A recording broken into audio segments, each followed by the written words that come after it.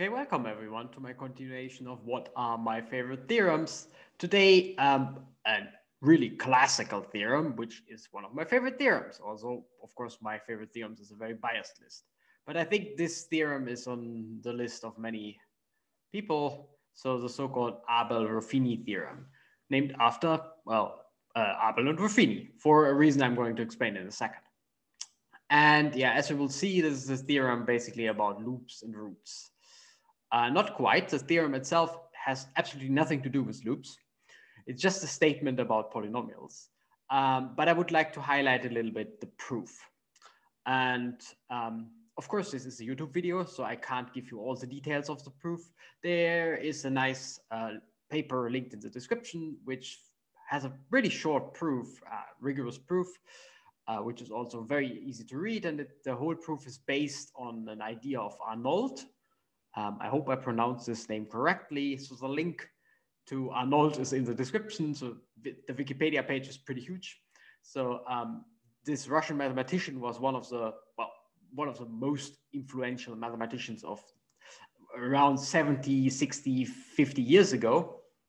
So a uh, link to, for example, uh, one of the uh, pioneers of um, dynamical systems and so on. And also there, uh, they gave proof of the um, Abel-Ruffini theorem, which is self-contained and doesn't use any Galois theory. So you might have heard about the uh, Abel-Ruffini theorem that you can prove it as an application of Galois theory. Um, that's all pretty good, but you don't need it actually. And of course, the original proofs by Abel and Ruffini were before Galois, so um, no Galois theory involved. Arnold's proof is based, so the one I'm going to present, is based on uh, Abel's proof. Ruffini's proof itself was, let's say, a little bit of a mess. I shouldn't say, probably shouldn't say that, but it was some, one of those 500 page proofs um, where people found gaps afterwards and nobody really understands. Anyway, so it's not a really, really um, enlightening proof in some sense. I shouldn't diss the poor proof, but, but you get the point. I, I don't want to read a 500 page proof. Um, Abel's proof is much shorter and th basically that's the one I'm going to present today. And let me just mention Galois theory again. So um, one of the main applications of Galois theory is the proof of the Abel-Ruffini theorem. But Galois theory is much richer, right? Um, you could prove various long-standing, well, people were able to prove various long-standing conjectures uh, using Galois theory. Nowadays, they are not long-standing conjectures anymore because they were proved, of course. Uh, but anyway, it's, it's a huge toolbox, which is very, very uh, successful throughout mathematics and probably beyond. I haven't checked recent applications of Galois theory. Um, but I mean, just to prove a certain theorem, you can have a different proof. Uh, for the experts, so if you know a little bit about Galois theory, I say it again, you don't need to, but if you know a little bit of Galois theory, we will recognize it because of course, Galois theory is pulling the strings from the background. Um, anyway, I'm already starting waffling, so let's just jump right into it because I haven't actually explained what the Abel-Ruffini theorem is. So let's, let's have a look. Um, so here is my complex plane, which, well, you should think of there being a coordinate system if you want, uh, with the origin being my green point. I don't want to illustrate the uh, origin because then it gets a little bit, uh, as the, the, coordinate system because then it gets a little bit uh, cumbersome and very clustered. Anyway, but you can think of I have a complex plane with origin somewhere and I'm interested in solving a very simple equation uh, depending on one, one parameter. B, in general, I would have more parameters depending on the degree of my equation, but it turns out that I only need one to explain uh, what goes wrong and my parameter is always b. And I think of it as, as moving freely around in the plane. I will show you uh, an, an illustration or a Mathematica code also linked in the description uh, in a second. But basically, I would like to uh, move this point around and I would like to see how the roots move around, uh, the corresponding root of this polynomial. Of course, this is basically trivial because if this is b, then this should be minus b. So they are linked by just some easy symmetry by just swapping the sign. So if B loop moves around like this, then the other one would move around exactly in the same way. And very importantly, if B would make a loop then the root will make the kind of the opposite loop. But it would still loop and become itself. And of course, all of you know that the basic uh, operations of arithmetic, by which I mean addition, subtraction, multiplication, and division, of course, suffice to uh, solve this polynomial equation, or maybe more general, a polynomial equation of, of this form with uh, two coefficients, a times x plus b. And you want to solve it in the sense that it is zero. And by suffice, I mean that you potentially iterate your um, your operations, right? In, in this case, you don't need to, but in, later you, you will, we will. And kind of the easiest, so this is a linear equation, right? This is part of linear algebra. Linear algebra is about solving multiple of those. And of course, this is ancient. I mean, everyone here probably can solve this equation. Um, as I said, this is not, not really hard. So what you could hope for is you could actually push this further um, by what I mean is you would look at the equation of degree two, for example, something like that, which we'll see in a second. And, and maybe, maybe you can actually solve that using the um, some combinations of um, these basic uh, operations of arithmetic. And now you might say, oh, wait, wait, wait, I, I know this, is the solution to the degree two uh, equation. I'm going to show you that solution in a second again anyway um, the quadratic formula, and it involves a root, right? It involves a near square root. So no, no, no, no, no. You, you can't uh, get away by just using those equations. That's not really a proof, right? It, it could be that there's some really, really crazy combination of those uh, operations, which kind of mimics the behavior of taking a square root. Absolutely possible. At this stage, I've we basically don't know.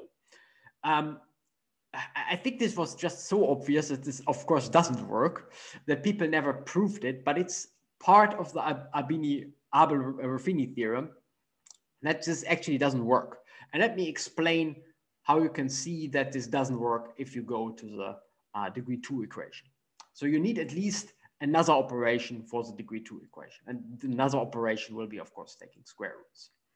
But before, let me summarize, in order to solve degree one polynomial equations, the basic operations of arithmetic are completely sufficient.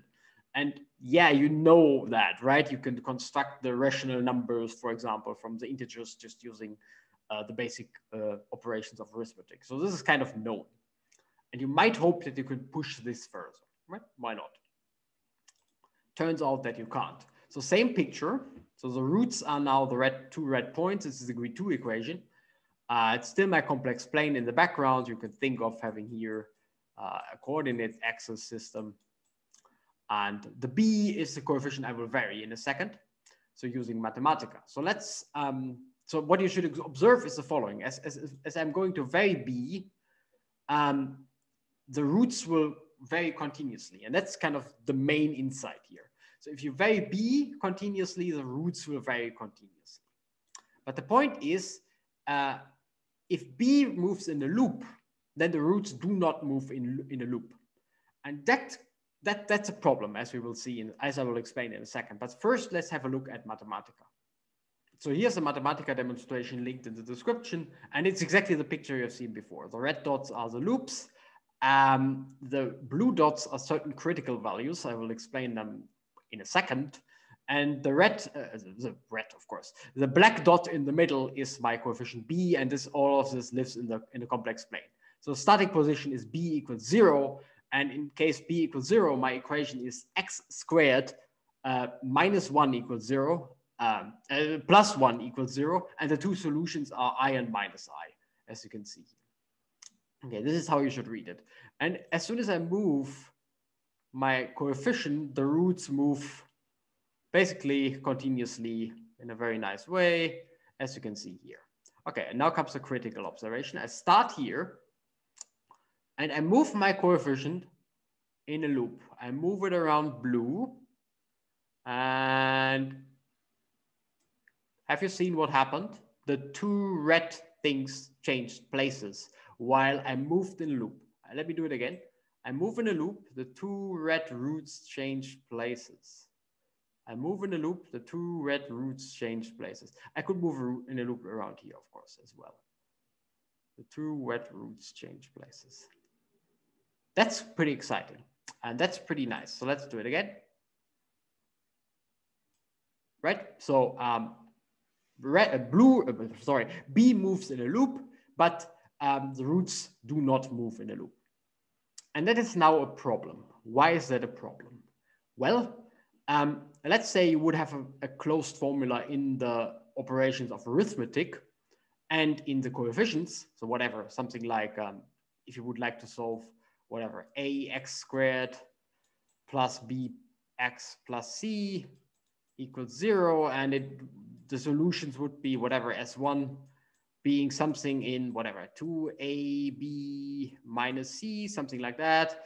And s2 would be, I don't know, um, whatever. Doesn't matter, a times c squared uh, divided by b, whatever, something like that, doesn't really matter. Um, the following would kick in. So uh, loops in my coefficients mean I, I, the coefficient stays the same. So if I loop everything here, those things are fixed. So those expressions will be fixed because the coefficient stays the same, but on the same time, those two swap places. In other words, you just can't write down a solution formula because one side of the formula uh, stays fixed and the other swaps places.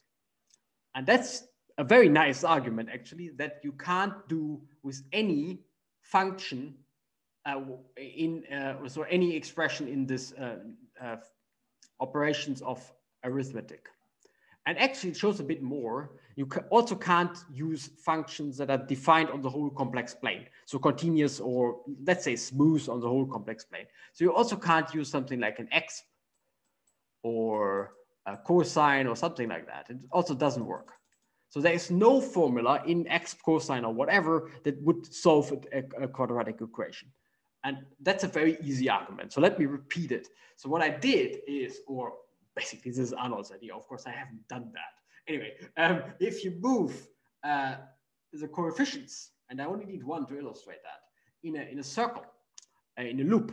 So return to where it was before, right? It hasn't changed. At the same time, the roots swap places. And this just can't work because you have exactly this phenomena that something swaps and, well, the other side of the equation stays the same. Very short and slick proof that you cannot solve a degree two polynomial equation using operations of arithmetic. And you even cannot solve it using uh, functions that are defined on C.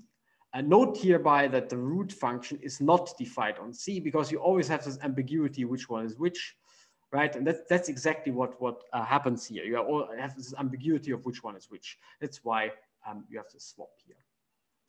So basically, there is no quadratic formula but built out of finite combinations of plus, minus, times, and division. Very short and slick proof. Very nice. And this proof generalizes. And we're basically already there. So let's have a look at degree three.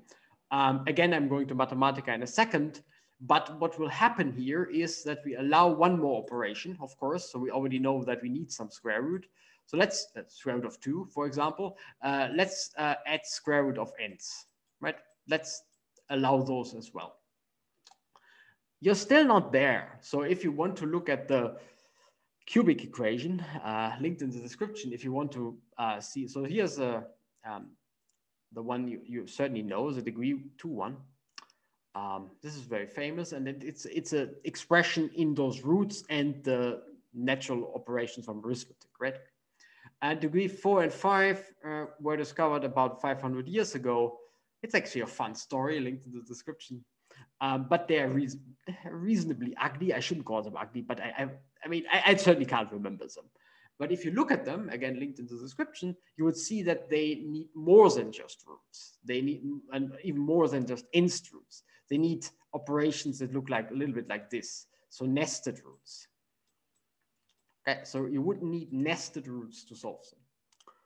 And if you know that, you might make a guess that somehow you should see that on the loops you should see on the loops that you need nested roots to solve it. Okay, but I will explain that in a second. So for now, um, let's uh, make our toolbox a bit bigger by not just allowing the basic operations of arithmetic, but also allowing the basic, well, including now a basic operation in algebra, and I call this the basic operations of algebra, the operations of algebra, namely allowing roots and um, also nested roots. So those guys here. And an arbitrary finite nesting of those things. Okay. Um, okay. And then people 500 years ago have discovered that you can solve degree four and five. And the question then would be, how far can you push that? But first, let's have a look at this picture here. And um, I will uh, start Mathematica in a second. So there is an operation, an algebraic operation called the commutator. And in this case, I just want to think about the commutator of loops. And it's just the following operation. Um, so here's illustrated in black. So a commutator of two loops. So I have one loop which goes around like this, and I have another loop which goes around like this. So always clockwise around my uh, loop points. This is loop A. Let's say this is loop B. Then the commutator of those two would be um, A, B, A inverse, B inverse, which just means you go A, then you go B, then you get, go A the other way around, indicated by this arrow here. And then you go B the other way around. So it's, it's really a for loop. So you go, in this case, you go this way, then you go this way, then you go this way, and then you go, I hope, this way. So this four times around those uh, blue points. And this is a bit hard to see in the Mathematica, that's why I have it illustrated here, but we'll try to see that in a second. And while you do that, you see that those roots actually swap places in this nice fashion, which in um, notation, if you're like permutation groups, would be one goes to two, two goes to three, and three goes to one. Okay, so you permute those coefficients uh, while you're applying a commutator. Okay, so every commutator in loops is, in this case, um, just a cyclic permutation of um, of the roots. And it turns out that this is not fixed by just taking one root. This is only fixed if you, um, uh, th this is again a problem because one root would, would fix this commutator. Uh, you need two, uh, a nested sequence of roots. So basically uh, what's going on here is, um, if you just write it down, it's not so hard to see. If you have a commutator and you apply a commutator to, to loops. And this is again, just uh, a fancy terminology for, for exactly this operation that I just showed you. So going around, going around, going around in the opposite way, going around in the opposite way. That shows that you need at least, um, at least uh, for this was this was degree three. You would you need at least a, a, nest, a nesting of level two or whatever you want to call this. So some um, expression like this. And if you look at the quadratic, uh, the cubic formula and linked in the description, yes, you really need those. And you could prove that by just using, uh, by looking at commutators of, of, of, loops, which is a little bit more complicated to see than what I just showed you for degree two, but it's basically the same idea. Uh, let's run Mathematica and let's see whether I can see actually what I just claimed is true. So here's Mathematica, same setup. This is my B. This is x cubed plus b plus one. It has three roots and it has three critical points. So um, let's have a look what the roots do as I uh, move my, well, you can see they swap places, very good. So if I loop, they swap places. So I certainly can't solve the degree three equation just using operations of algebra. Uh, sorry, operations of arithmetic, but maybe I can I can go away by just using well roots instead of nested roots. And what I would do in order to, to see that this is actually not true, I would go a commutator. I would go this way. So the point is back where it started and those two have swapped places. I will go this way. The point is uh, again where it started and this, the, the left one has moved all the way from, from down here. So it has moved all the way here. Okay, this one came originally from here, and this one came originally from here. So if this is one, this is two, position, position one, position two, position three, then three has moved to one, And um, so, so one has, uh, sorry, one has moved to three and three has moved to two and two has moved to one. That's not quite what I showed you because I'm also missing the second part of the commutator. So have a look. Okay, now those two swap places and the last one and those two swap places again. And if you would track this, for example, by doing running it yourself, you can run it yourself, this Mathematica code. Um, so the demonstration, um, or, or another one actually also linked in the description if you don't like to run Mathematica, and you will realize that that is exactly what I claimed. It's a permutation one, two, three. And then the argument is exactly the same as before.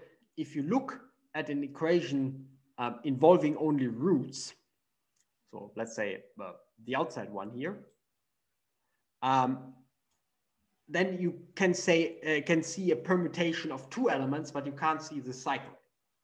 That's the whole problem. Uh, so you actually can't solve the degree three equation only using um, uh, operations of arithmetics and uh, radicals, so roots, uh, without nesting them. So we certainly should allow nesting um, of, of those expressions. And then you do degree four and you realize, okay, you, you're still good with nesting. The degree four equation is, is, is horrible. I think I've, the degree four equation is good. The degree four equation is totally good. The degree four equation solution is horrible. I think I've never seen it written down. Um, it, it's usually stated in the general um, polynomial is reduced to a specific polynomial and that is unsolved. But anyway, you can have a look at the description uh, if, into the link in the description if you really want to see that formula. Um, I would recommend not to anyway, some people, let's say 500 years ago, uh, were really, really happy that they found that formula. And it, it's pretty amazing that they did if you, if you see the formula. Anyway, um, I'm already starting waffling. Back to the topic. So, um, okay, so with degree three, you realize, okay, you need to nest roots because of this double loop or this commutator argument. With degree four, you realize you still need to nest loops. You need to nest one order more actually. Um, uh, I, will, I, will, show that to you in a second why you need that. Um, but you're still good with a finite nesting of, of, um, of well, roots. And then you might guess, okay, maybe in each step you need one more nest nesting level. So for level five, uh, for degree five, you might need one more nesting level. The formula will be horrible, um, but but maybe you you it's just horrible, and that's why it's so hard to find. Turns out that whatever, uh, 300 years of very smart mathematician were thrown at this problem and it still uh, was still standing, which made, I think, people believe that it's probably not correct. You probably can't do that. So uh, the question is, how far can we push this? We can push this to degree four, but not any step further, sadly. And that's exactly then the theorem whose proof, so for degree uh, five or bigger those operations of algebra, which I say again is uh, plus, for, for me at least, plus uh, times subtraction, division, uh, nth roots, and nesting of those operations. They do not suffice anymore, which I think is very surprising. So if you, if you see the pattern like uh, in degree, or you think you have a pattern, in degree two, you need roots of nesting order one. In degree three, you need roots of nesting order two. In degree four, you need roots of nesting order. Um, here it is, one more. And this is expressed by that you, if you take a commutator of your com of a commutator and it's not trivial, then you need one more nesting level. And here's just a computation that you can, can try to do. So um, using Mathematica, for example. Um, so um, if you would loop around one, two, and two, three, and you, you well, and use the co corresponding commutator and then two, three and three, four, then you would get something non-trivial and that solution is not detected again. Um, it cannot be detected again by a nesting order of too low level. Okay, so, and that's what you would need to show. You would need to show that K nesting of commutators correspond to a K nesting of, um, of those root uh, operators for example, um, degree four or bigger needs at least two nesting stages. And I think I, I got now confused about the, what I call two nesting. Uh, this is a one nesting and the degree four needs one nesting more. So well, anyway, um, so it shows that you need at least those nestings. And then something funny happens, which you can call uh, the law of small numbers. So for degree, well, what degree one is trivial, degree two, you need one nesting and all commutators are trivial. That's why you need one nesting. In degree three, you need uh, one nesting more and uh, uh one so one expression in the commutator is non-trivial. In degree four, you can write down a, a twice nested commutator and it is non-trivial. And you might say in degree five, I can write down at most three times nested. In degree six, I can write down at most four times nested and so on. Turns out that from degree five onwards, so here's an expression that you can try, which needs five symbols. Uh, that's the whole point, uh, which are i, j, k, l, m, l, m, n. So you, can have one, two, three, four, five, for example, if you want. Um, you can arbitrary nest commutators without ever being trivial because, uh, well, this permutation of length three, any permutation of length three can be written as a commutator of a permutation of length of those um, as three cycles, not a permutation of length three, right? So a three cycle JKM can be written as a commutator of three cycles. And then of course, then you can write the commutator of three cycles as a commutator of three cycles and the commutator of three cycles, you can write them as commutator of three cycles. So you can nest, arbitrarily nest those, um, those expressions. And that, by the very same argument, by looking at the orbits, so the, the looping argument, shows that you can't, you really can't write down any equation in general anymore for degree five, um, which, which would give a, some kind of nice analog of, of this uh, degree two equation here. Even not if you would allow whatever, a nesting of order 5000, you still couldn't do it. So for, for any nesting order, you can show that won't work by constructing the corresponding commutator, which gives a kind of a huge permutation of those of those um, of, of those loops. So actually no degree, and of course, if you can do degree five, or you can't do degree five, you of course can't do two degree six or whatever. Um, because you need five symbols, right? If you have five symbols, if you have six symbols, you certainly have five symbols. So you can't do that. And that's a whole theorem. Uh, a very, very nice theorem based, well, a very, very nice theorem, which was very, which was an open problem for a long time. And the argument is also very nice. It's really just a slightly more complicated version of, well, we can't solve um, the degree two equation using those operations because if I loop the coefficients, I will swap the roots. And yeah, I would contribute this proof, proof to Arnold or maybe to the uh, paper linked in the description, but it actually was originated basically if you what would I like to say without offending anyone? Um, basically, if you read Abel's proof carefully, you would come up with this argument. Maybe, maybe, maybe that was uh, neutral enough. Um, anyway, so this was known to Abel and kind of was a starting point of Galois theory. So back to Galois theory, as I said, you don't need to know Galois theory, but of course this Galois theory was playing in the background. And what Galois theory does for you is, well, it, it, tell, it gives you a machine to decide what polynomial equations you can solve or not. Okay, let me go to my last slide, namely what the Abel-Ruffini theorem not implies, what it does not imply. Um, first of all, it does not imply that you can't solve any, right? It just said you can't solve any degree five equation because, for example, this one is very easy to solve uh, using exactly the operations that I've told you about.